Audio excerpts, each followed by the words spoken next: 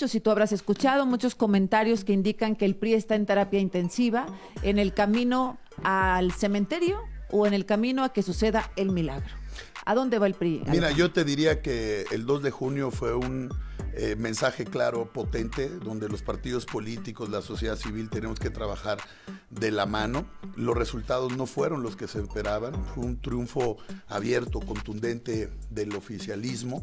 Creo que hay que señalar y precisar en la elección cuáles son los antecedentes que ya no se deben de permitir en la elección y la impugnación que presentó el PRI, Azucena, no es una impugnación por el tema del solo las actas de cómputo, las incidencias de casilla, sino dejar claro que hay un precedente en la jornada electoral de la intervención del gobierno de la República, de la intervención del presidente de la República, porque hay señalamientos de la autoridad electoral. Entonces la impugnación basa en eso, en la violación de preceptos constitucionales y que lo que queremos es que eso no suceda, que no suceda en la jornada electoral de las que vienen ni las futuras en la presidencia. ¿Presentaron sus impugnaciones por separado PAN y PRI? Sí, eh, nosotros en la coalición eh, tuvimos eh, reuniones, trabajo, presentamos impugnaciones distintas, cada partido político presentó sus impugnaciones y bueno, nosotros presentamos las nuestras en ese sentido, en dejar un claro precedente que no hay intervención del gobierno, del presidente de la República, porque fue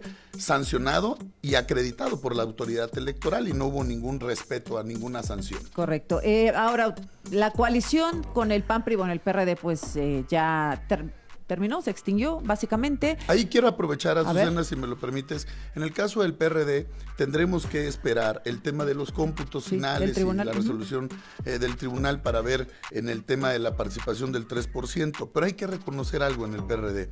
El PRD es un partido político que hoy no ha tenido los votos y el porcentaje para mantener el registro, es lo que marcan los datos oficiales del Instituto Electoral, habremos de esperar, pero dieron una gran lucha y una gran batalla, sumaron a la coalición, tienen una gran aportación en esta coalición y hay que reconocerlo porque cuando uno no lleva candidato propio, también eh, se ve reflejado muchas veces en los votos de la militancia, pero el PRD tuvo un gran compromiso con México, arriesgaron incluso la pérdida del registro con tal de construir la coalición. no, y bueno, tienen una gran historia en la construcción de las izquierdas, de la democracia en México. También lo hablábamos con Jesús Zambrano esta semana, pero bueno, pues eh, finalmente se acabó eh, su vida útil después de que Morena, pues encabezada por la figura de Andrés Manuel López Obrador, decide crear su propio movimiento. Y pues ahí empezó la muerte, la muerte lenta del PRD. Por eso te pregunto, Alejandro, ¿estamos presenciando la muerte del PRI?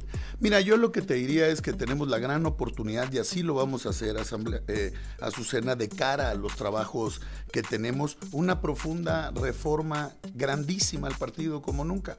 Tendremos que ir a consultar a los millones de mexicanas y mexicanos que votaron por nosotros, más de 6.6 millones de mexicanas y mexicanos votaron por nosotros, Azucena, y lo que queremos es impulsar un partido más tecnológico, más digital, un partido que esté cerca de la ciudadanía, discutir todos los temas, no solo nuestra ideología, el programa de acción, la cercanía, y estoy convencido que seremos una fuerza importante, porque aunque el oficialismo tiene una clara mayoría, eh, tiene la mayoría calificada en la Cámara de Diputados, se está construyendo en la Cámara de Senadores el tener un bloque importante para poder parar las iniciativas de reforma constitucional que está presentando el oficialismo. Entonces, vamos a dar la batalla.